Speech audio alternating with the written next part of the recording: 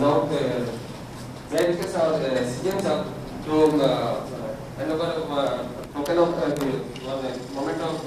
seeing this sir as token of honor